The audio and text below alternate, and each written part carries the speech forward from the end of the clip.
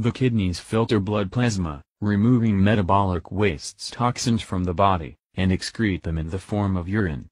During this process, they also maintain constant volume and composition of the blood, or homeostasis. Blood enters the kidney via the renal artery, which divides to smaller arteries and finally arterioles. The arterioles get into contact with functional units of the kidney called nephrons. This is where blood filtration and urine formation take place. The filtered blood is then collected into a series of larger veins and exits the kidney through the renal vein. The urine is collected in collecting ducts and leaves the kidney via the ureters. Each kidney contains over a million nephrons. A nephron is composed of two major parts, a capsule known as glomerular capsule, or Bowman's capsule, and a long renal tubule. Renal tubules of several nephrons connect to a common collecting duct. There are three steps in the formation of urine. Glomerular filtration takes place in the Bowman's capsule. Tubular reabsorption and secretion occur in the renal tubule. Water conservation happens in the collecting duct. Blood enters the Bowman's capsule via the afferent arteriole, passes through a ball of capillaries called the glomerulus, and leaves via the efferent arteriole. The afferent arteriole is significantly larger than the efferent arteriole, creating a blood flow with a large inlet and small outlet. As a result, the blood hydrostatic pressure in these capillaries is much higher than normal.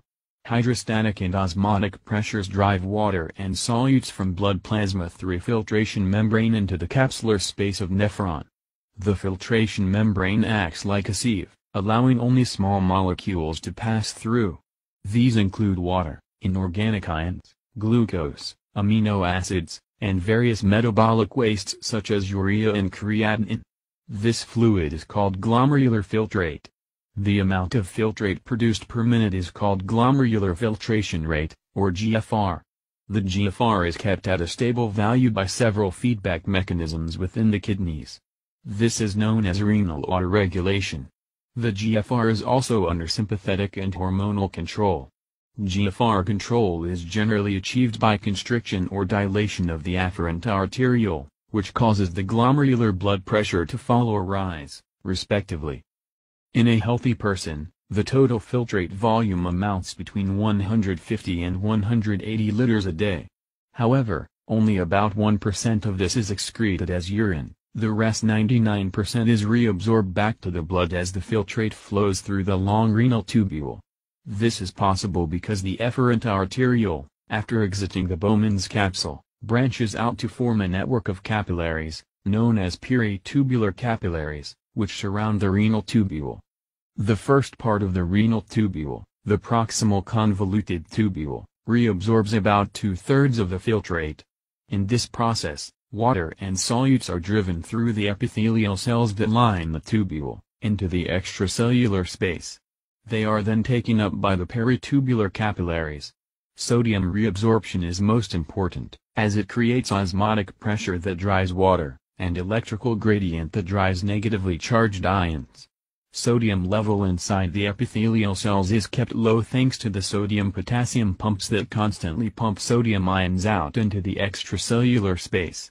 This creates a concentration gradient that favors sodium diffusion from tubular fluid into the cells. Sodium is absorbed by symport proteins that also bind glucose and some other solutes. Nearly all glucose and amino acids are reabsorbed back to the blood at this stage. About half of nitrogenous wastes also reabsorbs back to the bloodstream. The kidneys reduce the blood levels of metabolic wastes to a safe amount, but do not completely eliminate them. Some of the reabsorption also occurs by the paracellular route, through tight junctions between the epithelial cells. At the same time, tubular secretion, where additional wastes, drugs and other solutes leave the bloodstream to join the tubular fluid, also takes place. The processes of reabsorption and secretion continue in the nephron loop, the loop of Henle, and the distal convoluted tubule. However, these parts of the tubule also have some other important functions.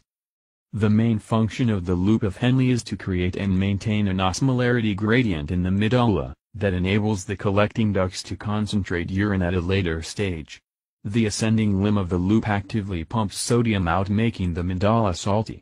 The descending limb of the loop is permeable to water but much less to sodium. As the water exits the tubule by osmosis, the filtrate gets more and more concentrated as it reaches the bottom. The ascending limb, on the other hand, is permeable to ions but not water. As a result, the filtrate loses sodium as it goes up and becomes more diluted at the top of the loop. The medulla is in equilibrium with the loop and hence has the same salinity gradient, more salt at the bottom.